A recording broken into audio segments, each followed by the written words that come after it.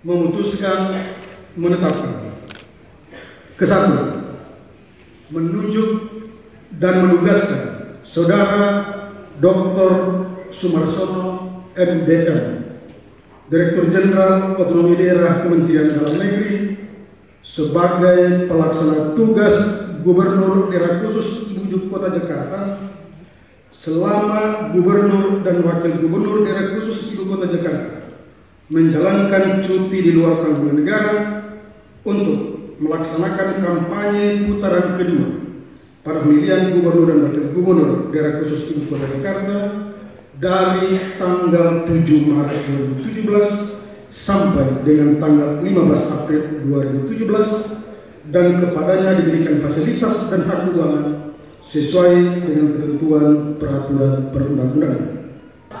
Selanjutnya adalah penyerahan keputusan Menteri Dalam Negeri Republik Indonesia tentang pelaksanaan tugas Gubernur Provinsi DKI Jakarta oleh Sekretaris Jenderal Kementerian Dalam Negeri Dr. Sumarsono. Dan berikutnya adalah penyerahan nota pengantar tugas dari Gubernur Provinsi DKI Jakarta kepada Menteri Dalam Negeri Republik Indonesia yang diwakili oleh Sekretaris Jenderal Kementerian Dalam Negeri yang selanjutnya diserahkan kepada pelaksanaan tugas Gubernur Provinsi DKI Jakarta.